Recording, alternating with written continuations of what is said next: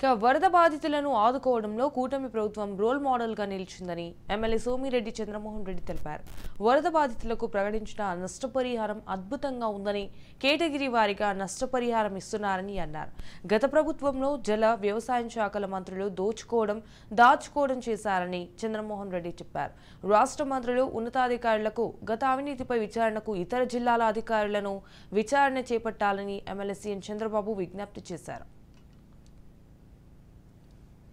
వచ్చిన వరదలకి వరద బాధితులను ఆదుకునే దాంట్లో చంద్రబాబు నాయుడు గారి కూటమి ప్రభుత్వం ఒక రోల్ మోడల్గా నిలబడింది.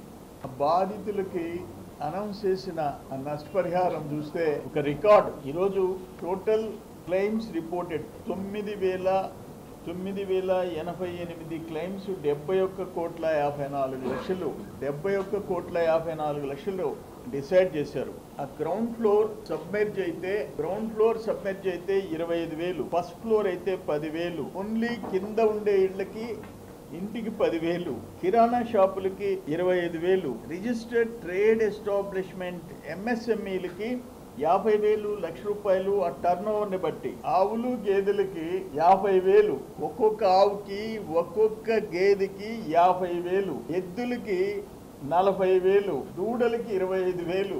ఎప్పుడన్నా చూసామా ఇది ఒక చరిత్ర రికార్డ్ ఇది. కాటన్ పర్ హెక్టర్ ఇరవై ఐదు వేలు గ్రౌండ్ నట్ ఇరవై ఐదు వేలు ప్యాడీ ఇరవై ఐదు వేలు షుగర్ కేన్ ఫస్ట్ క్రాప్ ఇరవై ఐదు వేలు. ఇవన్నీ చాలా పెద్ద లిస్ట్ ఉంది. నష్టపరిహారం ఇచ్చేదానికి ఎక్కడైనా గత చరిత్రలో మనం చూసామా ఆఖరికి గొర్రెలు మేకలకు కూడా ఏడు వేల ఐదు వందల రూపాయలు. ఇక్కడ అరటి పర్ హెక్టర్ ముప్పై ఐదు వేలు పసుపుకి ముప్పై ఐదు వేలు తమలపాకుకి డెబ్బై ఐదు వేలు మిరపకి ముప్పై ఐదు వేలు తామకి ముప్పై ఐదు వేలు బత్తాయికి బత్తాయి ముప్పై ఐదు వేలు. ఇది ఒక చరిత్ర.